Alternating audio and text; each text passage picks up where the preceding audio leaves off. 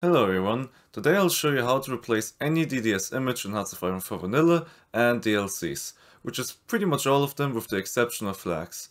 That includes leaders, research, division icons, loading screens and so on. I'll briefly go over sounds too. The reason I don't replace country or language files and so on is because of modern version compatibility. If you stick to only images and sounds, you can be assured it'll always work regardless of what mods you activate. You'll only need one program, GIMP. Alternatively, you can use Photoshop, however you might have to install a DDS image plugin for it. As far as I know, GIMP already has one included, so we'll be using that. If you've already done any steps, you can skip them using the chapter timecodes. So, download GIMP and let's go. First off, we need to create a mod. Go into the game launcher and click on all installed mods. Then, go on upload mod, where you'll find the create mod button. That's pretty poor placement. If you only knew how long it took me to find that! There, you can enter the mod's details. The version number doesn't really matter, just put a 1 there. However, make sure you choose a nice name for the directory as changing that later can be a bit of a headache. Select fitting tags. I'll only be replacing some random images and perhaps sounds, so I'll tick those two. Now that the mod is created, let's open it up.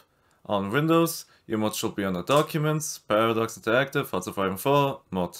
You'll see its folder for it there, alongside the mod manifest file, however we won't have to change anything in the file.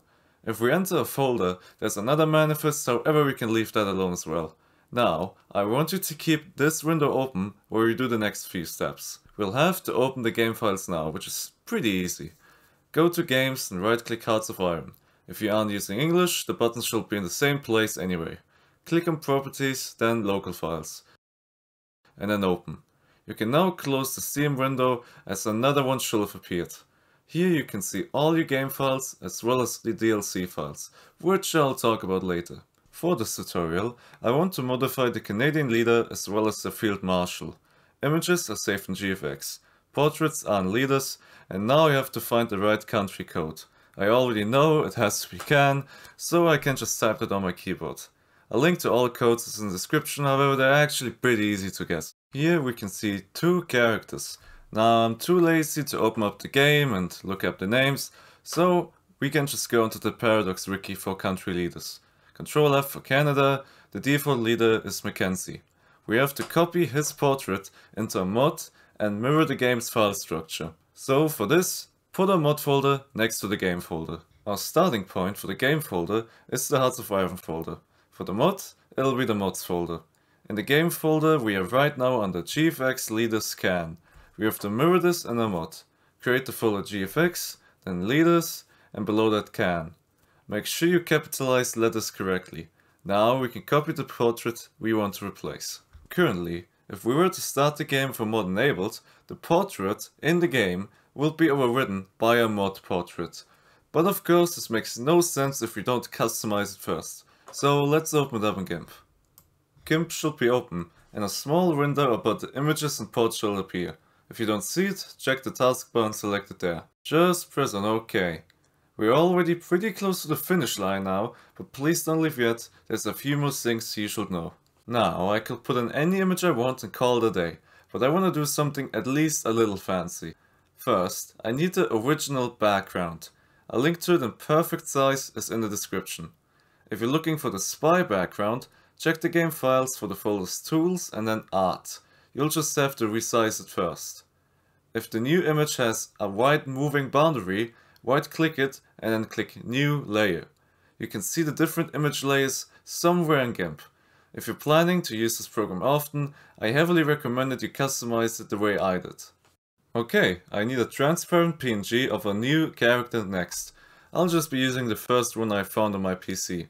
I place it in, new layer if it has the right background, but not in this case, and now I just need to scale it.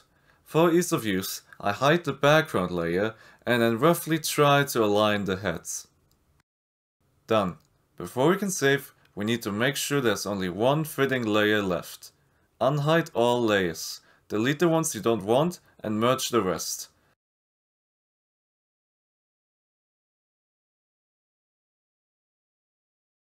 Select the cut tool and hold left click from the outside top left to the outside right bottom so everything's selected. press enter. Make sure you do this, in my experience the image can break if you don't. Next we can finally go to file and hit export override. Also, never overwrite the original. If you do that and the same to your mod copy, you'll have to reorder the original using Steam, which is check files for errors. That takes a lot of time, so do yourself a favor and look at the bottom of the screen after export. It'll tell you the path of your exported file, which should be your mod. If it's not, then you have to, you know, switch the two files. And we're finished. Make a new playset for testing your mod, enable it, select the playset again because the stupid launcher might have reset it, and start the game. And there we go, we've successfully replaced the leader of Canada. Using this approach you can replace all vanilla game files. This also counts for sounds.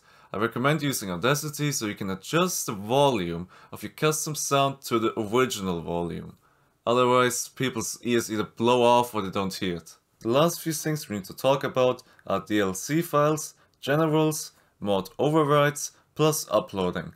But if you don't care about that, you can just close the video and watch it another time when you need it. Okay, in the root game folder, there's the DLC folder, which contains the ones you own. I want to customize the Canadian Field Marshal, so I have to open the Together for Victory DLC. Now, this is gonna become a new root folder for modding. We'll have to mirror it, just how we did it early with the normal game. So, again, I go down GFX, leaders CAN, which we've already created earlier anyway, and then check which one of them is Field Marshal. So I'll go back to the Paradox Wiki where all of them are listed. In this case, it's Charles. We copy his portrait into a matching mod folder and do all the same stuff again. Then restart the game and boom, there's a replacement.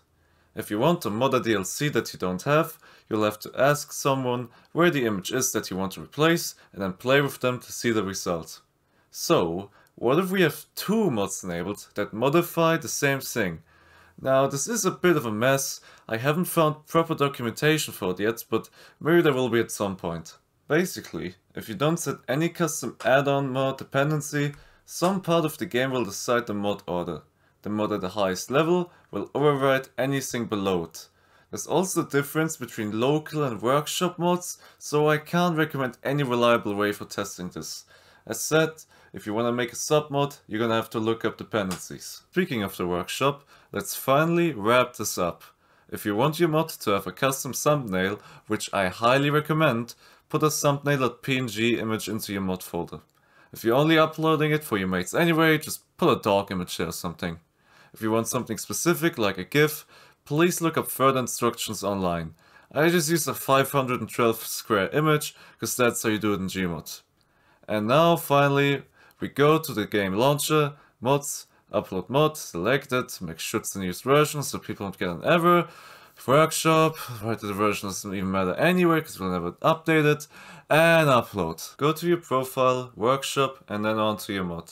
Make sure to add a screenshot and release it to the public or friends only. Congratulations! If you've done all the steps, you now uploaded your mod. You can update it anytime over the upload button in the launcher. I hope you'll enjoy adding funny stuff into the game and like each other's mods in the workshop so you get out of the zero stars. Goodbye and have a nice day. Don't forget, God loves you.